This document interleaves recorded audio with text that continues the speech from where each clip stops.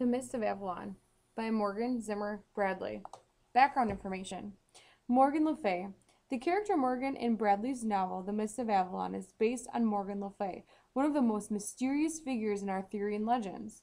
Her name comes from the Irish word meaning Morrigain, which means great queen.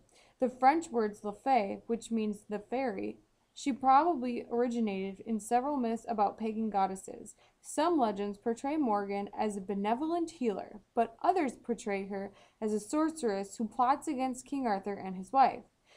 In the tradition that Bradley follows, she is Arthur's half sister. Her mother, Igraine, married Arthur's father, Uther Pendragon, after the death of her first husband, husband Gorlois. Focusing your reading. When a character who participates in a story also narrates the action, the writer is using first person point of view. The events in the excerpts are told by the character, character Morgan. Here's an example. I think my first real memory is of my mother's wedding to Uther Pendragon. I remember my father only a little. The first person narrator is able to give the reader an eyewitness account of the events in the story. As you read this selection, notice how Morgan expresses her feelings about each of the characters. Now, to wrap up our background information and analyzing characters, Bradley's modern retelling of the Arthurian legend involves revision of traditional versions of the story, presenting views of Arthurian characters that are quite different from those in previous versions. As you read, be aware of what you learn about each character, including the narrator.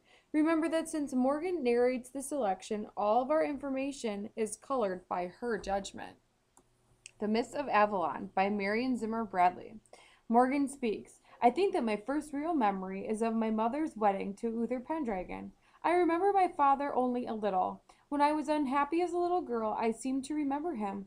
A heavy set man with a dark beard and dark hair, I remember playing with a chain he wrote about his, about his neck.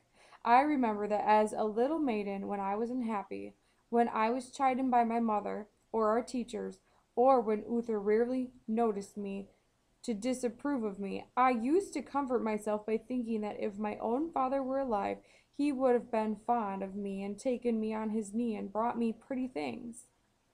Now that I am older and know what manner of man he was, I think it more likely he would have put me into a nunnery as soon as I had a brother, and never thought more about me. Not that Uther was ever unkind to me, it was simply that he had no particular interest in a girl child. My mother was always at the center of his heart, and he at hers, and so I resented that, that I had lost my mother to his great, fair haired, boorish man. When Uther was away in battle, and there was a battle a good deal of the time when I was a maiden. My mother Igraine cherished me and petted me, and taught me to spin with her own hands and to weave in colors. But when Uther's men were sighted, then I went back into my rooms and was forgotten until he went away again.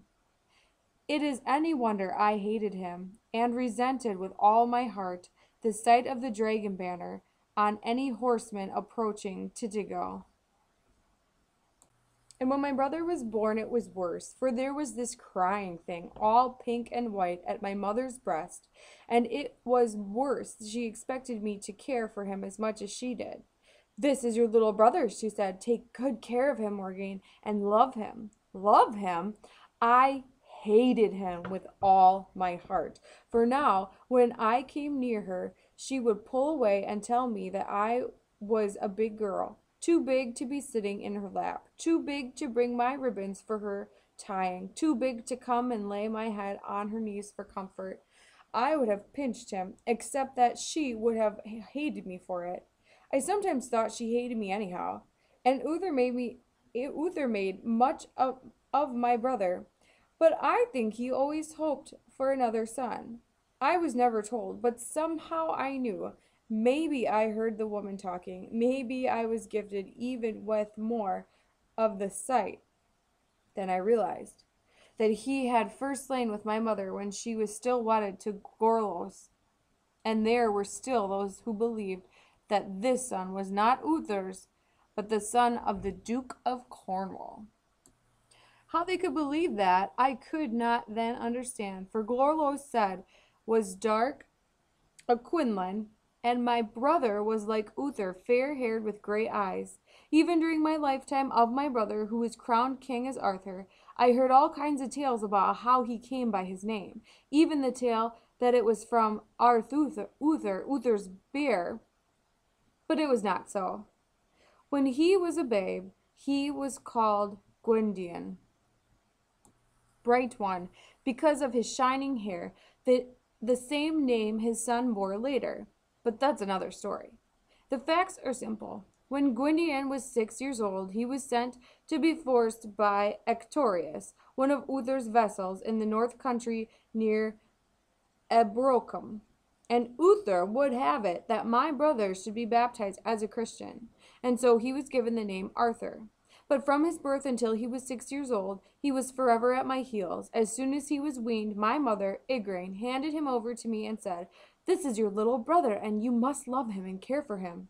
And I would have killed the crying thing and thrown him over the cliffs and run after my mother, begging that, that she should be all mine again, except my mother cared what happened to him.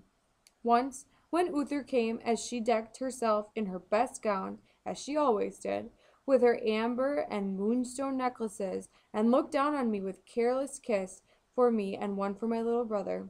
Ready to run down Uther, I looked at her glowing cheeks, heightened with color, her breathing quickened with delight that her man had come, and and hated both Uther and my brother. And while I stood weeping at the top of the stairs, waiting for our nurse to come and take us away, he began to toddle down after her, crying, Mother, mother! He could hardly talk then, and fell and cut his chin on the stair. I streamed for my mother, but she was on her way to the king, and she called back angrily, Morgan, I told you, look after the baby, and hurried on. I picked him up bawling and wiped his chin with my veil. He had cut his lip on his tooth. I think he had only eight or ten then, and he kept wailing and calling out for my mother. But when she did not come, I sat down on the step with him in my lap, and he put his little arms around my neck and buried his face into my tunic, and after time he sobbed himself to sleep there. He was heavy on my lap. His hair felt soft and damp. He was damp elsewhere, too, but I found I did not mind much, and in the way he clung to me I realized that in his sleep he had forgotten he was not in my mother's arms.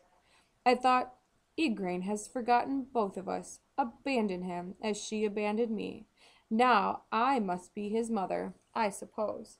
And so I shook him a little, and when he woke, he put up his little arms around my neck to be carried, and I slung him across my hip as I had seen my nurse do. Don't cry, I said. I'll take you to nurse. Mother, he whimpered. Mother's gone. She's with the king, I said. But I'll take you to mother, brother. And when his chubby hand in mine, I knew what Igraine meant. I was too big a girl to cry or whimper for my mother, because I had a little one to look after now. I think I was all of seven years old.